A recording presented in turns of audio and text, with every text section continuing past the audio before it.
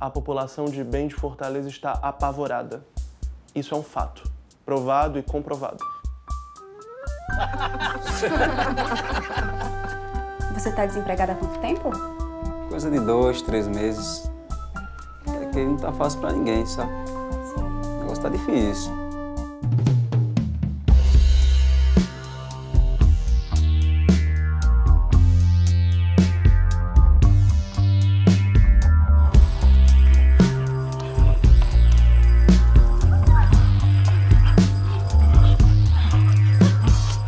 Otávio, meu amigo, eu tenho uma forte suspeita que um dos nossos companheiros anda falando demais por aí. Ele não vai fazer nada com a gente, eu te garanto. Nossa conversa foi super tranquila. Você não sabe o que o Borja é capaz.